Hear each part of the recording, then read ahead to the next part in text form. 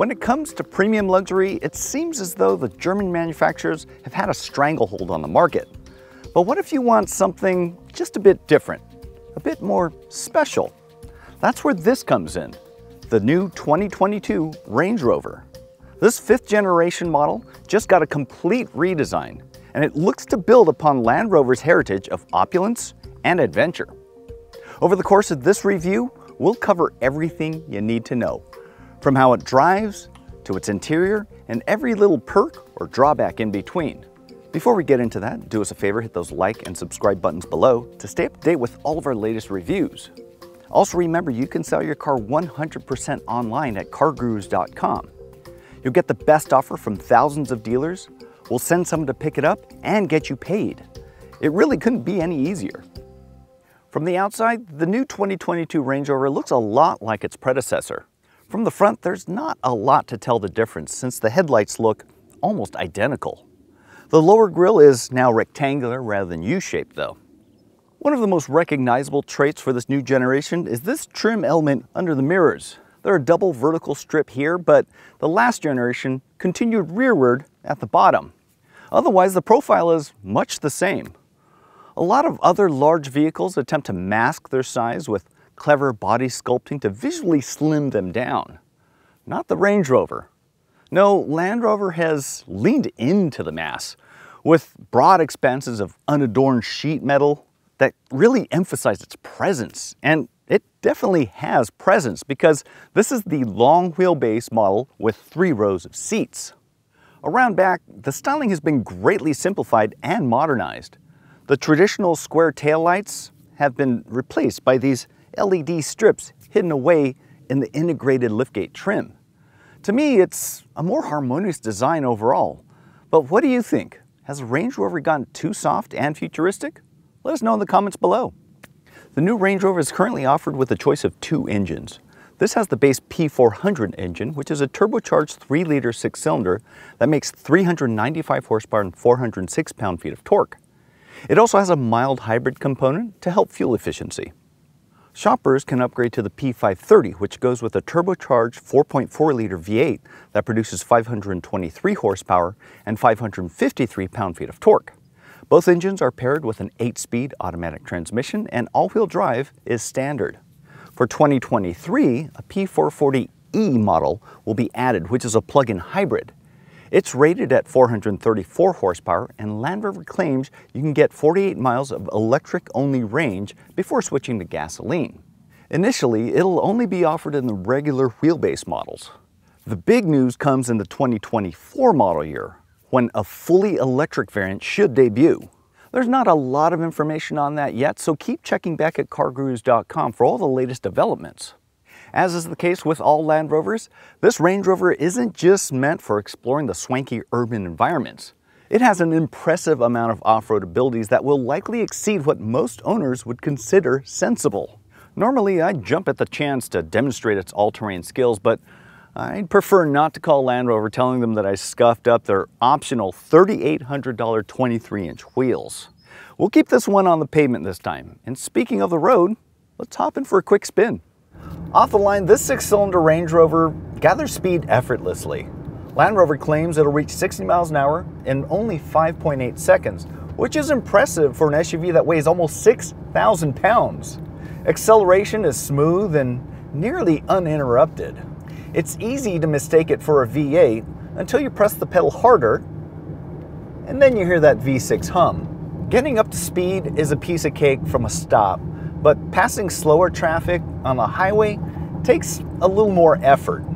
I had to floor the pedal to get the transmission to downshift and give me sufficient power, and even then, I kind of had to plan ahead.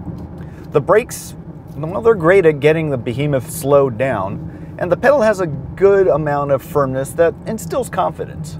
As a premium luxury vehicle, it's also easy to come to a nice smooth limo stop. Normally, we wouldn't expect much in terms of handling, but this Range Rover exceeds expectations. It's settled and well-mannered in the turns, despite the weight and tall ride height. Body roll is well managed, but you're not encouraged to explore the performance potential. Now, if you're seeking sharper handling, the Range Rover Sport may be a better alternative. And that leads me to ride comfort. This may be the best I've experienced among all premium luxury SUVs. Better than BMW, Mercedes, or Audi. It really smooths over all of the road imperfections, providing one of the calmest in-cabin drives ever. Adding to that refined isolation is a distinct lack of road or wind noise. It's quiet as a crypt in here and it really allows the audio to really shine. Despite the massive footprint, this Range Rover is surprisingly maneuverable. Huh? Four-wheel steering is standard and it allows you to turn about much sharper than you'd expect. Using the available automated parking system, I crammed this SUV into a parallel spot that was barely big enough. If you're one of the rare owners with plans for all-terrain adventures, that kind of maneuverability certainly comes in handy on narrow trails. Overall, this Range Rover is very enjoyable to drive, and I can see myself comfortably cruising all day on a road trip. But that's only part of the overall experience. The interior is equally critical. So let's do a deep dive on that next. You might think I'm weird for saying this, but this Range Rover smells amazing.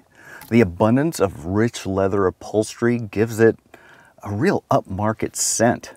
It's sort of like a prohibitively expensive handbag or really expensive pair of Oxfords, not brogues. So yeah, maybe I'm a little weird for saying that it is so good to smell. As a woodworking enthusiast, I'm also a huge fan of this open pore silver birch wood trim. It looks really great. It adds a lot of warmth. Plus, it just feels great to the touch. The dash is fairly minimal and I like its simplicity. It has these vents that are tucked into the very top of the dash and this 13 inch infotainment touchscreen adds a nice dose of modernity. I'd personally prefer if the screen was mounted just a little bit higher because as it is, it's just a little too low and might be a little more distracting while you're driving. The new Pivi Pro infotainment system is a huge step forward. It's much better than previous generations. It has sharp graphics and overall, it has a nice luxury vibe to it. After just a few minutes of getting acquainted, I found it easy and intuitive to use. I'm also glad that they gave us some physical buttons and controls here for climate control. I also really like these dials here that allow you to just push it and it gives you access to seat temperature so you can turn on the ventilation or heating. As expected, materials quality is excellent and there's a satisfying heft to its overall construction. Really, the only way to do better would be to step up to a Bentley or Maybach. Outward visibility is also worth pointing out because you have an expansive view. You have a lot of glass for these windows and these roof pillars are positioned in a way where they don't block your view. On a sunny day, these dual sun visors really come in handy and effectively block almost all glare. The front seats are generously padded for long distance comfort. It's almost like a big comfy hug. There are no hard points, but there are plenty of adjustments to make sure you get the optimal driving position. These seats are further optioned with a massage function that's actually pretty aggressive in the seat back. It's almost like one of those kind of knuckle shiatsu massages. It really works you out. There's also plenty of space for your personal items. You have these split level glove boxes here. You also have this tray here that's rubberized and has a wireless phone charger. Then you have your cup holders here and underneath those, they slide away for an even deeper bin here and also some USB charge ports. Then, of course, you have this massive, capacious bin here where, hello, yeah, you can squeeze a lot of stuff in there. Combine that with some well-sized door pockets, you're gonna have plenty of space for your stuff. Of course, no review would be complete without me nitpicking something, and in this case, it's this metal surround around the gear selector.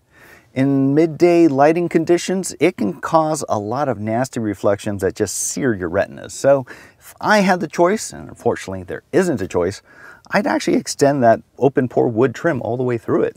As far as complaints go, that's about as minor as it gets. So let's check out the second row. Here in the second row, I have an abundance of space. Taller six footers would be more than happy back here. You have sliding and reclining seats that are power adjustable. And you also have your own climate controls here with controls for the heating and ventilation of the outboard seats. Right underneath, you have two USB-C ports here, as well as a household power outlet. Power sunshades are also available, and you also have separate controls here for the overall sunshade from the sunroof, as well as controls for the other side door. Accessing the third row is done by a touch of a button right here, but it does take a few seconds for it to execute. Once out of the way, you have this nice pass-through to access the third row.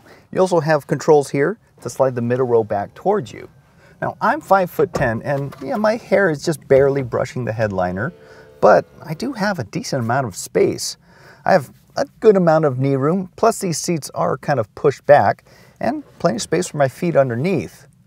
One thing I'm also really pleased with is I have a decent amount of thigh support, which is kind of unusual for a third row.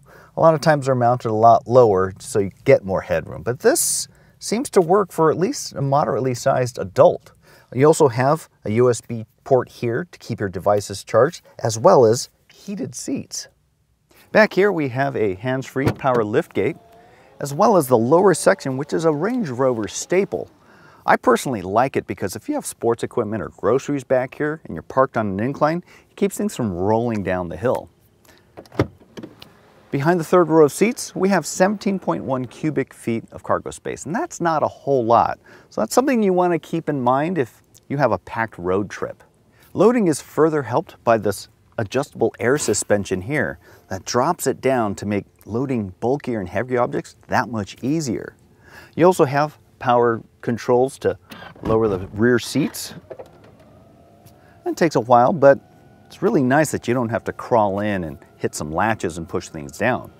Another bonus, this lower section here makes it so when you are loading stuff in, you're not gonna dirty up the front of your slacks on the back of the bumper. Now when you do fold these seats flat, that gives you 43.1 cubic feet. And when you fold the second row flat, 93 cubic feet. That's some pretty serious cargo, even though I doubt most people are gonna load it that much.